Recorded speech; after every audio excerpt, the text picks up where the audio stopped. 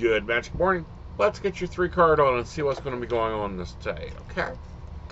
All right. So first up out of the gate, we have the Three of Pentacles. Someone's going to have to be shuffling and dealing with money. Robbing Peter to pay Paul.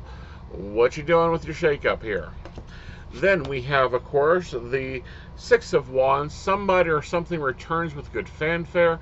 This would be a great time, you know, the prodigal son, learning about where you're needed, or returning of things.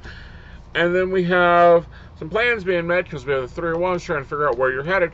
All right, y'all, let's see what the angels have to say about today, shall we? And we have the Archangel Raphael. He is the angel of healing you boost your physical elements. Maybe there's been some health issues, some things going on. This is a good thing to be popping up right now. And of course, our ascended master energy for today is, of course, ooh, twin flames again. Now, this card's been popping up a lot, and a lot of people get confused that twin flames are like a split soul, and there could be only one. There's a lot of debate on that. A lot of trying to figure out what's going on with what. All right, you guys, have a wonderful day. Be magical. I'll be taking uh, on-demand calls today from 10:30 a.m. to 6 p.m. and then again tonight um, around 12:30 Eastern to about 4 a.m.